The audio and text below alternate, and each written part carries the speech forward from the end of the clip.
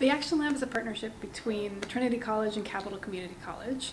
We get teams of students involved in semester-long research projects with Hartford-based community partners. I really like being able to get students involved in real-world research projects.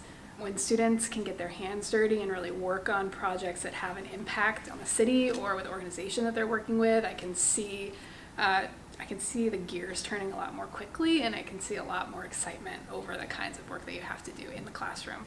I think it's a great way to really be more hands-on with learning and with it actually feels like you're getting stuff done and not just doing assignments but maybe even creating change for the better in the community. And I think the whole concept of like having an interactive classroom where a professor's not just lecturing you, it's all about like the process and the journey that it takes you to make a difference and be like part of the community that you're in.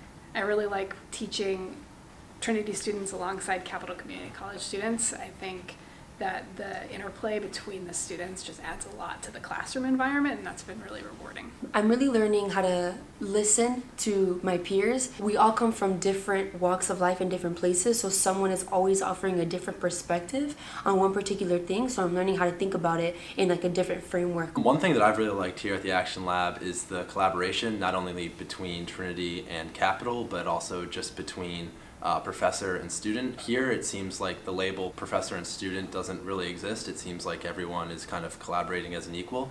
And I think that helps out a lot. I think uh, students feel really comfortable uh, exchanging opinions and ideas with each other.